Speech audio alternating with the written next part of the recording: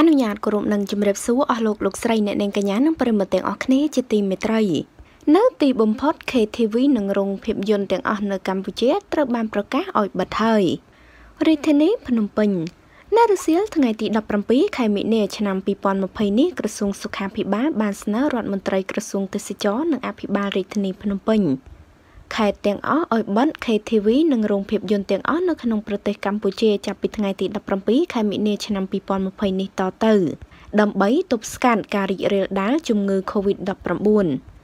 នេះបើតាមលិខិតរបស់រដ្ឋមន្ត្រីក្រសួងសុខាភិបាលលោកមុំប៊ុនហេង ការប្រកាសឲ្យបិទខារ៉ាអូខេនិងរោងភាពយន្តនេះបានធ្វើឡើងបន្ទាប់ពីកម្ពុជាបានរកឃើញអ្នកឆ្លងថ្មីចំនួន12នាក់ដែលធ្វើឲ្យមានចំនួនអ្នកឆ្លង COVID-19 នៅក្នុងប្រទេសកម្ពុជាសរុបកើនឡើង24នាក់ហើយការសម្រេចឲ្យបិទខារ៉ាអូខេនិងរោងភាពយន្តទូទាំងប្រទេសនេះបានធ្វើឡើងតាមអនុសាសន៍ដ៏ខ្ពង់ខ្ពស់របស់សម្ដេចតេជោហ៊ុនសែននាយករដ្ឋមន្ត្រីនៃកម្ពុជា។ បើតាមលិខិតរបស់រដ្ឋមន្ត្រីក្រសួងសុខាភិបាលផ្ញើទៅរដ្ឋមន្ត្រីក្រសួងទេសចរនិងអភិបាល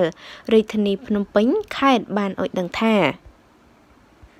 ដោយបានគោលការណ៍ដ៏ខ្ពង់ខ្ពស់ពីសម្ដេចតេជោហ៊ុនសែនសូមឲ្យបិទខារ៉ាអូខេនិងរោងភាពយន្តនៅទូទាំងប្រទេសចាប់ពីថ្ងៃទី17ខែមិនិនារហូតដល់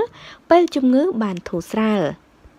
ចានៅថ្ងៃនេះផងដែរសម្ដេចតេជោហ៊ុនសែននាយករដ្ឋមន្ត្រីនៃកម្ពុជាបានប្រកាសឲ្យបិណ្ឌ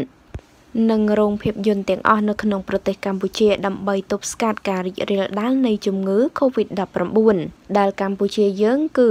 កើនឡើងរហូតដល់24នាក់ហើយដែលបានឆ្លងកូវីដ -19 នេះសង្ឃឹមថាកម្ពុជាយើង